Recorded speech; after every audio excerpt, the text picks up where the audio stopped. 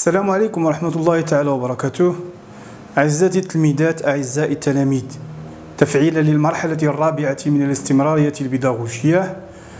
في إطار طبعا تحضير للامتحانات الوطنية دورة يوليوز 2020 أقترح طبعا على آه، عليكم أعزائي التلميذات أعزائي التلاميذ المحور الثاني من المجزوءة الأولى من إحياء النموذج إلى سؤال الذات. المحور الثاني مرتبط بسؤال الذات. وقد ارتأيت أن أقدم بين أيديكم نصا شعريا مرفقا بسؤال وفق ما هو مسطر في الإطار المرجعي المحين لسنة 2014 والقصيدة التي اخترتها هي قصيدة الصباح الجديد لأبي القاسم الشابي قصيدة أوجه عنايتكم طبعا من خلال الملاحظة البصرية وأؤكد على ضرورة قراءة النص قراءة شعرية متأنية بغاية طبعا تمثل مضامينه ولكن قبل ذلك لابد من الملاحظة البصرية.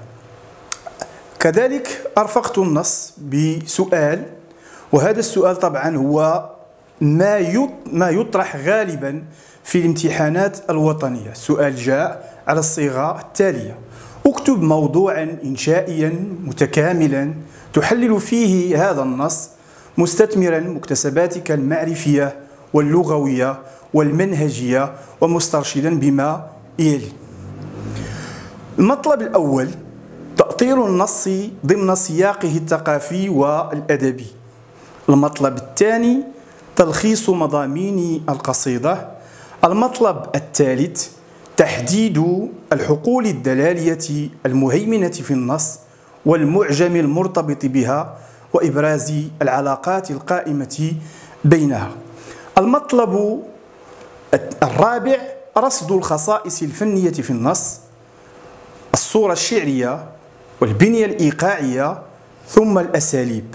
المطلب الأخير مرتبط بتركيب خلاصة تستثمر نتائج التحليل وتبين مدى تمثيل النص للاتجاه الذي ينتمي إليه. المطلب الأول وهو مرتبط طبعا بمنهجية تحليل نص شعري كما طبعا تناولناها داخل الفصول الدراسية. منهجية كتابة إنشاء أدبي حول نص شعري في مرحلتها الأولى مرتبطة بالتأطير وهذا الإطار العام للنص الشعري مرتبط بالملاحظة البصرية للنص. من خلال طبعا ملاحظتنا نحن لقصيدة الصباح الجديد للشاعر التونسي أبي القاسم الشابي فهي تتأثر ضمن الاتجاه الذاتي أو الاتجاه الرومانسي في الشعر العربي الحديث. لذلك فالتأطير يجب أن يتوقف بداية عند التعريف بالاتجاه المؤطر للقصيدة. وأنتم الآن تدركون أنها قصيدة تتأثر ضمن اتجاه سؤال الذات أو الاتجاه الرومانسي في الشعر العربي الحديث. ولا بد عزيزي التلميذ عزيزتي التلميذة من أن تكون المقدمة تعرف الاتجاه الشعري أي اتجاه سؤال الذات أو الاتجاه الرومانسي. الاتجاه الرومانسي ومذهب وحركة شعرية ظهرت مطلع القرن العشرين ردا طبعا على الحركة الكلاسيكية أو الحركة الإحيائية أي حركة البعث والإحياء. لأنها طبعا سعت إلى أن تعيد الاعتبار إلى الذات. اتجاه الرومانسي حركة شعرية طبعا لم تتقبل بل كانت رافضة لتلك العودة المفرطة إلى القديم. لذلك جاءت من أجل أن تعيد الاعتبار للذات بل كذلك الوجدان. وهنا أستحضر معكم حتى ما معطيات ومعلومات مرتبطة بما قدمته ظاهرة الشعر الحديث لأحمد المعداوي المجاطي لنستعين بها في التعريف بهذه الحركة الشعرية. بعد التعريف لابد عزيزي التلميذ عزيزتي التلميذة من أن تتوقف وأن تتوقفي عند أهم العوامل التي ساعدت على ظهور هذه الحركة الشعرية وهذا الاتجاه الشعري الذي هو سؤال الذات أو الحركة الرومانسية. أكيد أن العامل الأساسي الذي ساهم في ظهور وتبلور هذه الحركة الشعرية هو عامل الانفتاح على الثقافة الغربية. شعراء الاتجاه الوجداني في الشعر العربي الحديث استفادوا من التجربة الرومانسية الغربية عامة والإنجليزية والفرنسية خاصة وسعوا إلى نقل هذه التجربة والاستفادة منها لإغناء الثقافة العربية بالإضافة إلى عامل آخر مرتبط طبعا بالخلفية الفكرية الليبرالية الممجدة للذات. لا يمكن أن نغفل ونحن نتحدث عن العوامل التي ساهمت وساعدت على ظهور هذه الحركة الشعرية على مخلفات الحرب العالمية الأولى بعد سنة 1919 دمار فوضى. طبعا إنسان يقتل الإنسان وهذا ما لم يتقبله آه، الرواد الاتجاه الرومانسي في الثقافة آه، العربية. فسعوا إلى أن يتجاوزوا هذا الواقع المؤلم هذا الواقع الأسود بطبعا نظم قصائد تمجد هذه الذات وتتغنى بالتجربة الإنسانية. أضف إلى ذلك تشبع شعراء ورواد هذا الاتجاه بالفلسفة خصوصا في مذهبها الوجودي. من خلال طبعا هذه المعطيات الأولى المرتبطة بالتأطير العام لا بد في إطار تقديم باعتباره مرحلة أولى من مراحل كتابة موضوع إنشائي أن تنتقل إلى الإطار الخاص. والإطار الخاص مرتبط بأبرز رواد هذه الحركة الشعرية. أبرز الشعراء الذين حملوا على عاتقهم مهمة النهوض بهذه الحركة الشعرية وترسيخ توابتها في الثقافة العربية عامة وفي الأدب بصفة خاصة.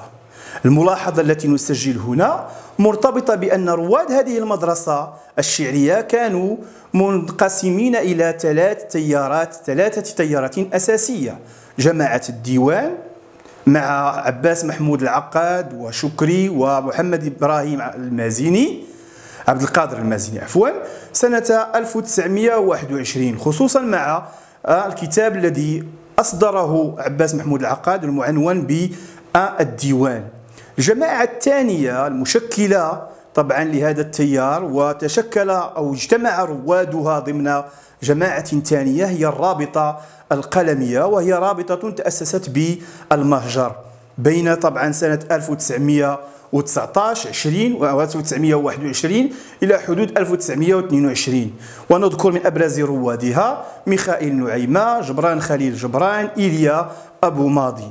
إلى حدود طبعا سنة 1932 ستظهر الجماعة الثالثة المشكلة طبعا لهذه الحركة الشعرية أو لهذا المذهب الشعري وهو المذهب الرومانسي أو الاتجاه الذاتي.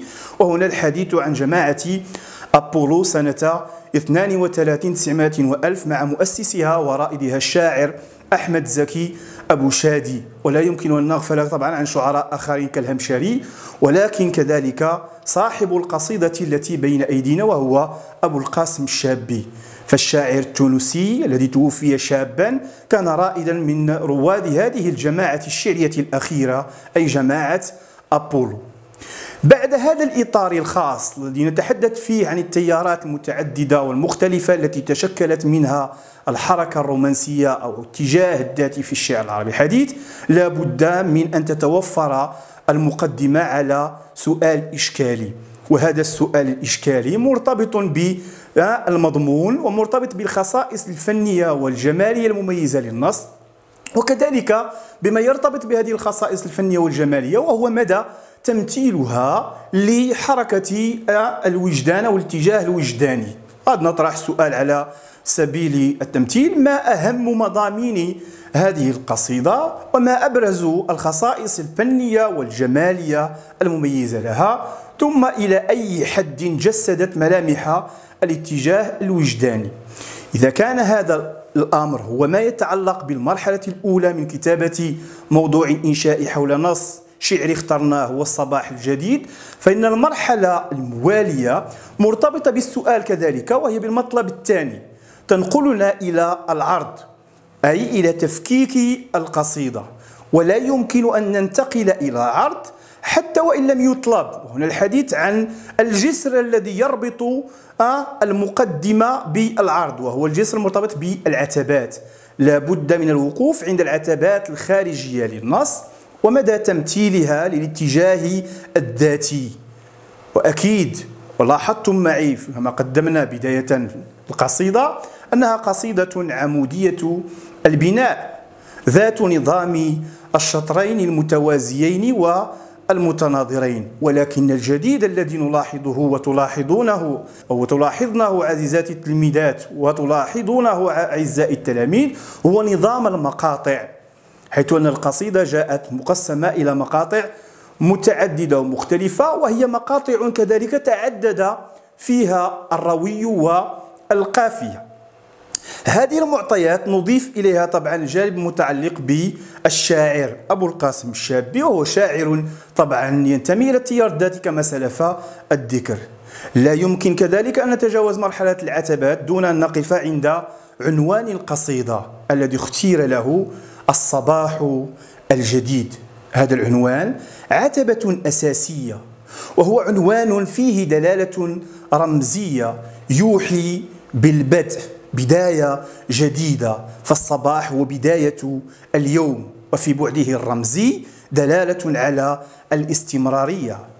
نضيف إلى دلالة العنوان ما تعلق بما يقدمه مطلع القصيدة وغايتنا وهدفنا هو أن نحدد فرضية أو نصوغ فرضية ننطلق بها في قراءة هذا النص الشعري. مطلع القصيدة كما تلاحظون قدم أسلوبا أو تقدم بأسلوب إنشائي. سكوتي يا جراح. واسكني يا شجون. وهذا الأسلوب الإنشائي يكشف معاناة يكشف آلام يعانيها الشاعر ولكن في نفس الآن فهو يتجاوزها بالسكوت والسكون. سكوتي يا جراح. كأنه يتجاوز هذه المعاناة ويتحداها فيها نوع من الشجاعة والقدرة على الاستمرارية والتمسك بالحياة. من خلال هذه المعطيات نصوغ فرضية للقراءة ننطلق بها ونؤكدها فيما سيأتي من مراحل تفكيكنا لهذا النص الشعري. طبعا المطلوب الأساسي في هذا الباب هو التحديد وتلخيص مضامين القصيدة. القصيدة كما لاحظتم؟ وأؤكد على ضرورة قراءة النص قراءة متأنية وبتركيز. القصيدة الشعرية هي قصيدة لأبو القاسم الشابي منذ مطلعها يكشف كما من الحزن والكآبة والمعاناة. صحيح أنها تتكشف عبر أسلوب الأمر في المطلع ولكن رغم هذه المعاناة ورغم هذه الأعراض أعراض المرض التي جعلت الشاعر يدرك دنو أجله ولكنه لا ينهزم بل يبقى متمسكا بالحياة متمسكا ومتشبتا بالأمل ومطمئن إلى هذه الحياة بدرجة كبيرة جدا. وهذا ما عرف عن أبي القاسم الشابي. بالنسبة للمطلب الثاني أو الثالث عفوا المرتبط بالسؤال المنطلق الذي انطلقنا منه هو مطلب تحديد الحقول الدلالية المهيمنة على النص والمعجم المرتبط بها. أكيد أننا قبل أن نبدأ في هذا المطلب لابد من أن نحدد طبيعة اللغة. ونحن نقرأ القصيدة. نجد أن هذه اللغة هي لغة تميل إلى البساطة فيها تلقائية فيها نوع من الليونة واليسر في الفهم والاستيعاب. ومن تحديدنا لطبيعة اللغة ننتقل إلى الحقول الدلالية. فهمنا للقصيدة واستيعابنا لمضامينها يقودنا إلى الوقوف عند حقلين دلاليين. أحدهما أكيد مرتبط بالذات ويجب أن نأخذ عبارات أو أن نذهب إلى النص ونستنتج أو نستنبط عبارات دالة على الذات في هذه القصيدة. أعطي مثالا. سكوني يا جراح سكوتي يا جراح عفوا. وسكوني وسكوتي يا شجون. دفنت الألم نثرت الدموع. كلها عبارات دالة على الذات. ثم هذه الذات مرتبطة بالمعاناة. الحقل الثاني مرتبط بالطبيعة. وقد توقفت طبعا عند عبارات دالة على هذا الحقل كأطل الصباح رياح العدم جمال الوجود الضياء والظلال تمر الفصول. هي عبارات دالة على حقل الطبيعة. لا يمكن طبعا نتجاوز الجانب المتعلق بالحقول الدلالة دون أن نتوقف عند طبيعة العلاقة بين الحقلين. طبعا تربط بينهما علاقة ترابط وثيق. فذات الشاعر في هذا النص الشعري تستلهم قوتها وإصرارها على الاستمرارية والاطمئنان إلى الحياة من مكونات الطبيعة من عناصرها فهو تفاؤل مستوحى من الصباح من الفصول التي تتداول وتتعدد فصول السنة الأربعة ويستلهمها طبعا الشاعر ويستند إليها ويستمد منها قوته وإصراره على الإطمئنان والاستمرارية بل أنه يؤمن بأن الحياة أو أن الموت هو بداية جديدة. لذلك نقول أن الصباح هو بداية جديدة. هذا في الجانب المتعلق بالعلاقة بين الحقلين. لا يفوتني هنا طبعا عزيزتي التلميذة وعزيزي التلميذ أن أؤكد على معطى. لابد بعد كل مستوى من المستويات التحليلية من استنتاج يؤكد أو نؤكد من خلاله انتساب القصيدة للتيار الذاتي أو الاتجاه الرومانسي. هذا الحضور القوي للذات والممجد لها وهذا الاستلهام لعناصر الطبيعة ومكوناتها يذكرنا طبعا بأهم ملمح من ملامح الاتجاه الذاتي أو الوجداني في الشعر العربي الحديث. من الحقول المعجمية والدلالية ننتقل إلى المطلب الثالث التزاما طبعا بالسؤال وهو المرتبط برصد الخصائص الفنية في النص بدءا طبعا من الصورة الشعرية.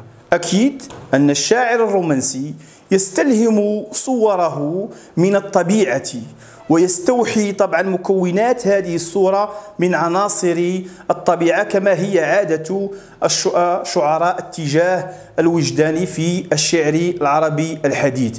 لا بد من أن نستحضر عنصري الأنسنة والألسنة. الشاعر الوجداني عرف عنه أنه يؤنسن الطبيعة أي يجعلها إنسانا يشاركه طبعا الهم والحزن والمعاناة. ثم مفهوم الألسنة أي يمنح لهذه الطبيعة لسانا ليتفاعل ويتجاوب مع ذات الشاعر وهذا لا يغيب عن هذه القصيدة الشعرية أكيد خصوصا أنها قصيدة غنية بالاستعارات من بدايتها إلى نهايتها منذ مطلع القصيدة نجد سكوتي يا جراح وسكوني يا شجون سكوتي يا, يا جراح هذه استعارة. أطل الصباح ونثرت الدموع وهنا عندما أقول نثرت الدموع فكأنني يشبه الدموع باللؤلؤ في طار وتقرير الاستعارة لأنه لا بد من تقرير مختلف الاستعارات التي أقدمها كمثال في تحليلي وتفكيكي للنص وفق ما هو مطلوب في السؤال. لذلك عندما أتوقف عند الصورة الشعرية بتقديم أمثلة ونماذج لها لابد من تقريرها باعتبارها استعارات. طبعا متعددة ومختلفة بل تكاد ويكاد يكون النص وحدة استعارية من بدايته إلى إلى نهايته. لابد كذلك من إشارة إلى وظيفة الصورة الشعرية التي تغيرت مع الشاعر الرومانسي. لم تعد وظيفة الصورة مع الشاعر الرومانسي محصورة في طابع الزخرفي التزييني الترميقي ولكنها أصبحت عنصرا أساسيا يساهم في إيصال رسالة الشاعر إلى المتلقي يساهم في التأثير في هذا المتلقي خصوصا وأنها صور واستعارات مرتبطة بالتجربة الذاتية التي يعيشها الشاعر كانت معاناة أو غير ذلك. إذا فالصورة الشعرية مع الاتجاه الرومانسي بدأت تأخذ منحا مغايرا للصورة الشعرية المألوفة عند شعراء التيار الكلاسيكي أي البعث والإحياء أو إحياء النموذج. من الصورة الشعرية إلى المكون الثاني من هذا في هذا المطلب وهو البنية الإيقاعية. البنية الإيقاعية بعنصريها نبدأها طبعا بالإيقاع الخارجي. الإيقاع الخارجي الملاحظة التي نلاحظها ونحن نتجه إلى القصيدة هو غياب ظاهرة إيقاعية أساسية عرفت عند الشعراء القدامى وهي ظاهرة التصريع أو حلية التصريع فهي غائبة تماما. صحيح أنها ليست ملحما أو عفوا ملمحا دائما مميزا للاتجاه الرومانسي أو للشعراء ولكن الغياب يعطينا انطباعا بالتجديد في القصيدة أو هو ملمح الملامح التجديد في القصيدة مع رواد الاتجاه الرومانسي. غياب هذه الظاهرة يثير انتباهنا خصوصا وأننا ألفنا مع الشاعر الإحيائي وجود هذه الظاهرة باعتبارها اتحاد نهاية الشطر الأول من البيت الشعري مع نهاية الشطر الثاني من نفس البيت. فننتقل بعد ذلك إلى ما يميز هذه القصيدة وأنها قصيدة صحيحة عمودية البناء ذات نظام الشطرين ولكنها تميزت بتعدد الروي والقافية. وهذا ملمح إضافي ينضاف إلى الملمح السابق الذي يتجه بنا إلى تأكيد انتساب القصيدة إلى الاتجاه الذاتي في الشعر الحديث. أما البحر الذي اعتمده أبو القاسم الشابي هنا فكما تلاحظون أن القصيدة جاءت على مشطور المتدارك فاعل فاعلان. وهذا طبعا تقنية المشطور أنه حذف حذف جزء من البيت وهو ما يتلائم أن الشاعر لا يريد أن يكثر من الكلام فهو يؤمن بالحركة بالفعل تشبته بالحياة وتشبت ب تشبت فعلي ليس فقط قولي وهذا طبعا يمكن أن نستلهمه في إطار تأويلنا وتحليلنا لتفاصيل هذا النص في امتداد وظيف الوظيفة الإيقاعية. بالنسبة للإيقاع الداخلي لا بد من أن نستحضر درسي علوم اللغة التكرار والتوازي. ونلاحظ حضور لافت طبعا لظاهرة التوازي الإيقاعية. وأقدم مثال هنا سكوتية جراح وسكونية شجون. هنا توازي طبعا توازي تركيبي واضح وكذلك توازي صوتي. نراه سكوتي ثم سكوني حرف النداء يا يا ثم يا جراح جراح وشجون هذا التوازي طبعا هو ظاهرة إيقاعية حاضرة في هذا النص وبين بطريقة لا يمكن أن يغفل عنها من يفكك تفاصيل القصيدة بين أيدينا لأبي القاسم الشابي. ظاهرة التكرار كذلك. تحضر وبقوة. نمثل لها بتكرار أصوات. ولا شك أن الأصوات المهيمنة في هذه القصيدة هو صوت النون وصوت الميم. وهي أصوات من حيث طبيعتها مرتبطة بالألم مرتبطة بالمعاناة. النون مرتبطة بالأنين. والميم رغم أنها أصوات شفوية ولكنها مرتبطة بهذه الحمولة من الحزن والكآبة التي تميز آه، القصيدة. ولا يمكن أن نغفل عن أن الشاعر يتجاوز هذا الألم وهذه هذا الألم وهذه المعاناة وينفتح ويطمئن للحياة. تكرار كذلك ألفاظ داخل هذه القصيدة. وقد مثلنا ب وهذا ليس انتقائي الألم والحياة والصباح ألفاظ تكررت في هذه القصيدة وهذا التكرير ليس اعتباطيا الألم لأن الشاعر يعاني. الحياة طبعا لأن الشاعر رغم ألمه متمسك بالحياة الصباح في حمولته الرمزية من العنوان إلى باقي تفاصيل القصيدة يحضر ويتكرر بطريقة طبعا لها وظيفتها في إيصال المعنى والرسالة إلى المتلقي. داخل نفس المطلب أكيد نتوقف عند الأساليب. منذ مطلع القصيدة طبعا نتوقف عند الأسلوب الإنشائي خصوصا أسلوب الأمر ولكنه ليس أمرا حقيقيا وإنما أمر مجازي. نفهم منه نوع من التحدي. تحدي طبعا المعاناة. سكوتية جراح وسكوني طبعا يا شجون. هذا أسلوب أمر ولكنه أمر مجازي يفهم نوع من التحدي نوع من الافتخار بالقدرة على تجاوز المعاناة وتمسك بالحياة بالنسبة للمطلب الأخير هو مطلب خلاصة تستثمر نتائج التحليل وتبين مدى تمثيل النص للاتجاه الذي ينتمي إليه. أكيد أننا في هذا الباب نتحدث عن خاتمة الموضوع الإنشائي الذي نكتبه حول نص شعري. ولا بد طبعا من أن نشير هنا لأن الخاتمة على درجة كبيرة من الأهمية بدءا بعبارة الختم مرا إلى تكتيف نتائج التحليل بما يؤكد انتساب هذه القصيدة إلى الاتجاه الوجداني أو الاتجاه الذاتي. فالنص بعد عبارة الختم قصيدة شعرية عمودية البناء للشاعر التونسي أبي القاسم شابي. ومن حيث مضامينها نكتف هذه المضامين. لا نكتفها طبعا بإطناب ممل ولكن نكتفها بإيجاز جديد لأننا هنا نحن في خاتمة الموضوع. ثم بعد تكتيف المضمون لابد من أن نتوقف عند أن عند الحقول الدلالية والصورة الشعرية ونقول بأن هذه الحقول الدلالية وهذه الصورة الشعرية تؤكد انتساب النص للاتجاه الوجداني. كيف ذلك؟ المضمون الشعري الغني طبعا ب الوجود الممجد للذات فالقصيدة تجربة إنسانية عميقة. أضف إلى ذلك هذا الحضور اللافت للطبيعة ومكوناتها وعناصرها. هذه كلها عناصر يمكن أن نستكشف منها وأن نستنتج منها انتساب القصيدة للتيار الذاتي حتى على مستوى البنية الإيقاعية. غياب ظاهرة التصريح. هي التصريح عندما تغيب تنقلنا نوعا ما إلى الاتجاه الوجداني وما يؤكد ذلك هو آه هذا التعدد في الروي والقافية. هذه الجرأة على ما كان مقدسا ولقرون جرأة على آه البنية الإيقاعية وعلى التعدد في الروي والقافية. ذلك نستنبط هذه المعطيات من خلال إعادة تكتيفنا لمكونات وعناصر التحليل. أشير هنا إلى معطى هام جدا وهو أنه رغم أنه لم يطلب هو أنه نطالب في بعض الأحيان بالمناقشة.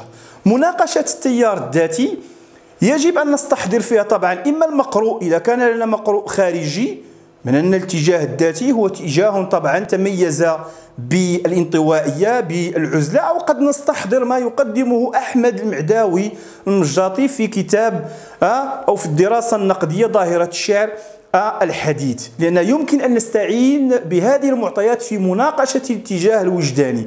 صحيح أن الاتجاه الوجداني أتى ليجدد ولكنه وجد نفسه مرتبطا ب بالذات وجد نفسه منطويا منعزلا عن الواقع الذي أراد ان ان أن يعود إليه بعد أن هجره رواد البعث والإحياء. لذلك يمكن أن نناقش الاتجاه الوجداني باتجاه البعث والإحياء انطلاقا مما قدمه أحمد المهداوي المجاطي وانطلاقا من المقروء باستحضار طبعا أفكار وقضايا متعددة مختلفة لعل أبرزها طبعا.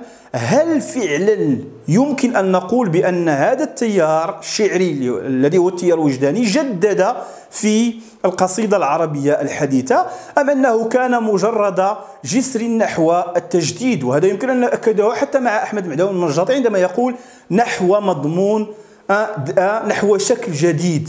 أو المضمون الذاتي. نحو شكل جديد أي أننا نحن في الطريق إلى شكل جديد وبالتالي هذا مرتبط فقط بالمناقشة على سبيل التذكير لأنه غير مطلوب في النص بين أيديكم ولكن نذكر به. وفي ختام هذا طبعا التحليل وهذه الحصة وجهوا عنايتكم طبعا إلى ضرورة التركيز في القراءة وفي تتبع مختلف المستويات وفي تتبع المطلوب من السؤال وشكرا جزيلا لكم وعلى حسن انتباهكم.